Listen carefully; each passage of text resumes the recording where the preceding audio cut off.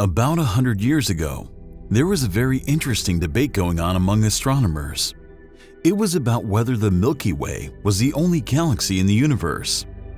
Of course, we had pictures of Andromeda and the Magellanic Clouds, but they were thought to be star systems within our own galaxy. The clash of beliefs was so intense that it led to the famous Great Debate between Harlow Shapley and Heber Curtis on 26 April 1920.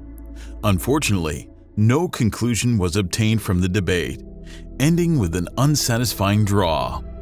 It was in 1925 that this dispute was once and for all settled by Edwin Hubble.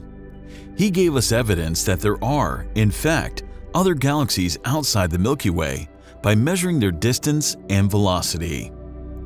Hubble found that these galaxies were moving away from us, and this observation laid the foundation of an expanding universe and an initial Big Bang. But although this was a groundbreaking observation in astronomy, there was another thing that caught Hubble's attention. As he discovered more galaxies, he started noting a peculiar pattern. He found that the velocity with which the galaxies move away from us is more for distant galaxies. That means the recessional velocity of a galaxy is directly proportional to its distance from us. In other words, the farther a galaxy is in deep space, the faster it appears to be moving away from us. This is the famous Hubble's law.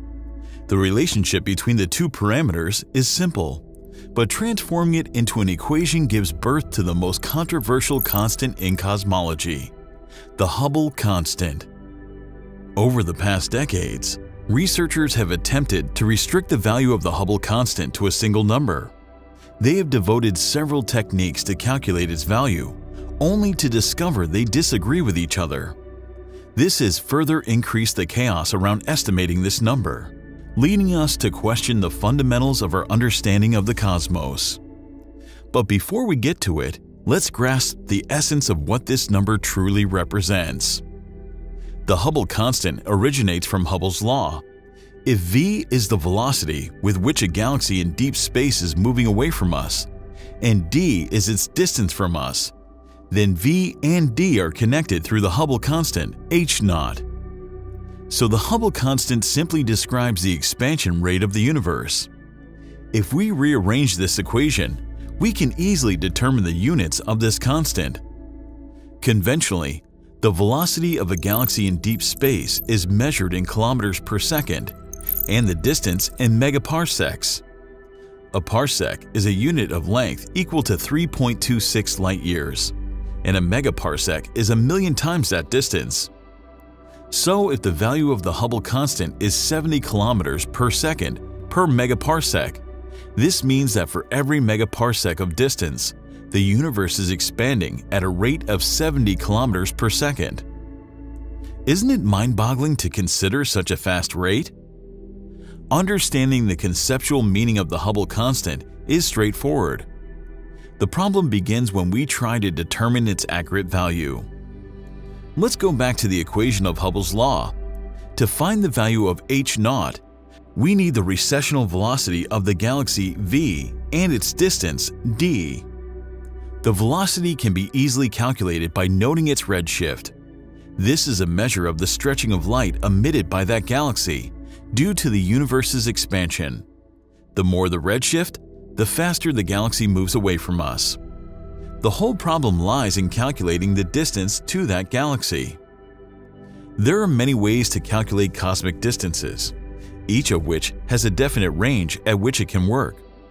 For example, the parallax method works well to calculate distances of nearby stars, up to a few hundred light years. Then, astronomers use main sequence fitting to find distances of the order of 10,000 light-years within our galaxy. Further, the Cepheid variable method finds distances to nearby galaxies up to 25 megaparsecs or 80 million light-years. Hubble originally used the Cepheid variable stars in the galaxies for measuring distance. Cepheids are variable stars whose brightness fluctuates with time. They pulsate with a variability period that directly correlates with their intrinsic brightness. By comparing their intrinsic brightness and apparent brightness, one can estimate their distance from us using the distance modulus equation. At last, the supernova method enables astronomers to determine the distances of deep space galaxies that lie billions of light years away. Type 1a supernova happens when a white dwarf feeds on its companion star and absorbs too much material in the course, disrupting its hydrostatic equilibrium.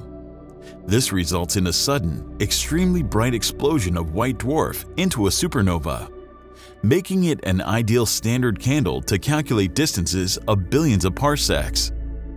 But the issue with this stepwise measurement of cosmic distance, called the cosmic distance ladder, is the uncertainty that compounds with each step. Recently, Planck's Pantheon Plus analysis analyzed roughly 1,550 Type 1a supernovae. When these data were combined with the Hubble SHOES program study of the Cepheid variables, the Hubble constant was determined to be 73.4 kilometers per second per megaparsec. So what is the big fuss around its measurement? The problem is that the result from these two programs correspond to the expansion rate of the current universe as they study the light from galaxies at a distance of about 1 to 2 billion parsecs away. What happens if we compare this with the expected expansion rate? A better question would be, how to calculate such an expansion rate. The answer is cosmic microwave background, or CMB radiation. About 400,000 years after the Big Bang, the universe cooled enough for the nuclei to trap the electrons and form the first stable atoms. This gave way to the photons, and the universe became transparent for the first time. Today, the light from that event has redshifted and can be found in the microwave frequency. So the CMB is basically the afterglow of the Big Bang. Studying the evolution of CMB with fluctuations in density and temperature through the various gravitational influences since the early stages of the universe should give us an estimate of the Hubble constant in the present day. As this radiation evolved with the universe, by providing prior information about the amount of mass and energy present within the universe, the evolution of CMB radiation can be modeled, and CMB maps can be produced. This way, the Hubble constant's theoretical value can be obtained. The only problem is that the results do not match. The most detailed map of CMB by Planck mission has given an estimate of about 67 kilometers per second per megaparsec, Although they seem remarkably close, given that they are obtained from two different independent approaches, the supernova result and theoretical value differ by about 10%, which is a big deal. The supernova method predicts the universe to expand at a rate 10% faster than what the CMB method predicts. That is it. That is the crisis and one of the biggest unsolved problems in cosmology. There are two possible explanations for this discrepancy. Either there is a measurement mistake in one or both studies, or both measurements may be accurate, and this discrepancy is revealing something new about the universe.